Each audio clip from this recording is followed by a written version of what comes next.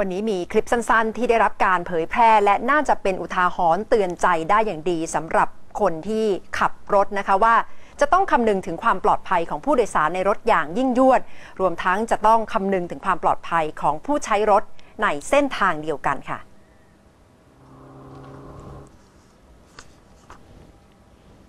โดยไทย PBS ตรวจสอบข้อเท็จจริง พบว่าเหตุการณ์นี้เกิดขึ้นบนถนนสุวรรณสอนกิโลเมตรที่ 96 อำเภอวิหารแดงจังหวัดสระบุรี เป็นเส้นทางจากอำเภอหนองแคมุ่งตรงไปยังอำเภอวิหารแดงจังหวัดสระบุรี ปกติเส้นทางนี้เป็นถนนเส้นตรง และเป็นทางผ่านของรถบรรทุก 10 ล้อค่ะ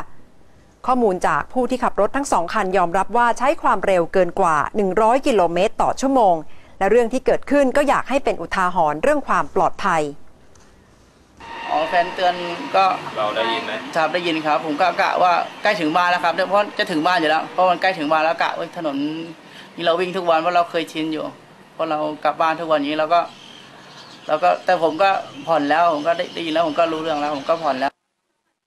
ขณะที่ภรรยาซึ่งนั่งรถมาด้วยยอมรับว่าขณะนั่งรถไม่ได้คาดเข็มขัดนิรภัย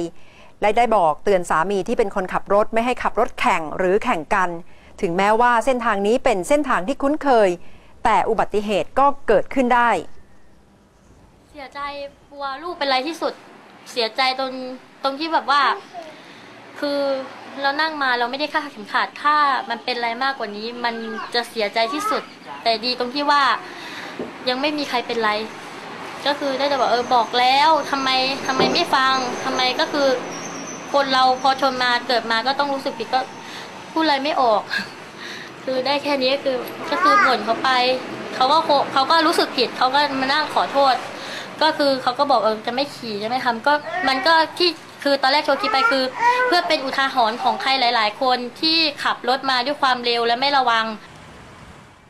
นี่เป็นอีกเหตุการณ์ อุบัติเหตุรถยนต์สองคัน ชนกันจนเกิดไฟลุกไหม้ใกล้กับจุดกลับรถ หน้าสถาบันวิจัยพืชไร่ จังหวัดเพชรบูรณ์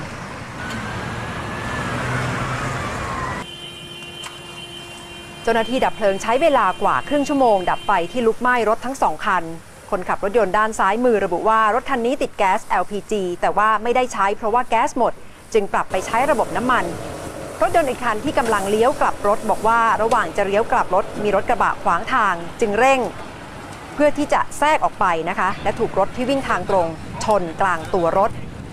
คนขับรถยนต์ทั้งสองคันหนีออกจากตัวรถได้ก่อนเกิดไฟไหม้และไม่ได้รับบาดเจ็บค่ะ